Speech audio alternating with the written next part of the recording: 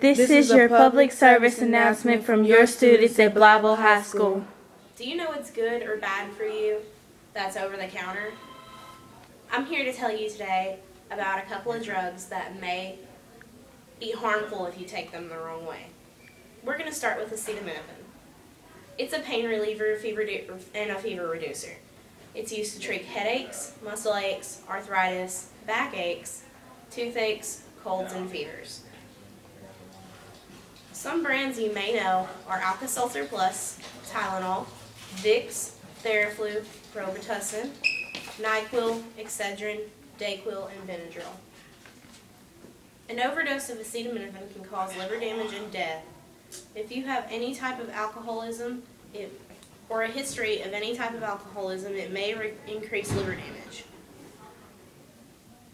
Some signs of acetaminophen overdose loss of appetite, nausea, vomiting, stomach pain, sweating, confusion, or weakness.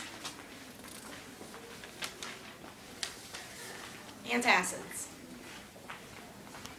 Some brands are Tums, Rolaids, Vicks, Phillips Milk of Magnesia, Pepto-Bismol, and if taken by mouth, it's taken by mouth to relieve heartburn, sour stomach, acid indigestion. Usually you don't give an- antacids to children under six.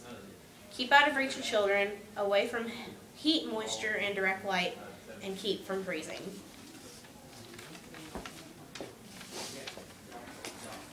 Next, we're going to go to steroid anti-inflammatories.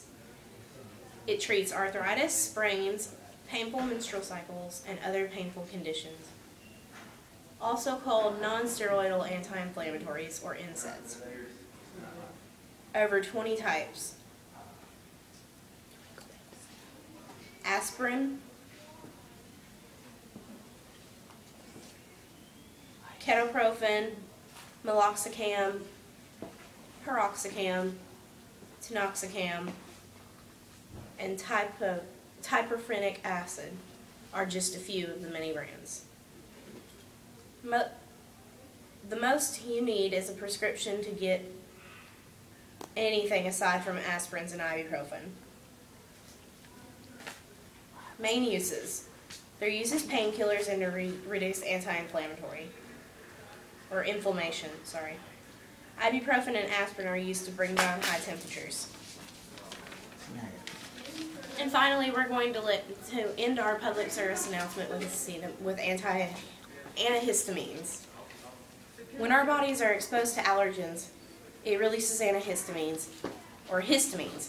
Histamines attach to the cells in your body, causing them to leak fluid and swell. This can cause itching, sneezing, runny nose, and watery eyes.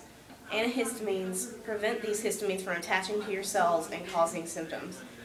Some brands are Benadryl, Vicks NyQuil, Alka-Seltzer Plus Nighttime Cold Medicine, Claritin, Zyrtec, and Allegra. Thank you. That's the end of our public service announcement from Blytheville High School.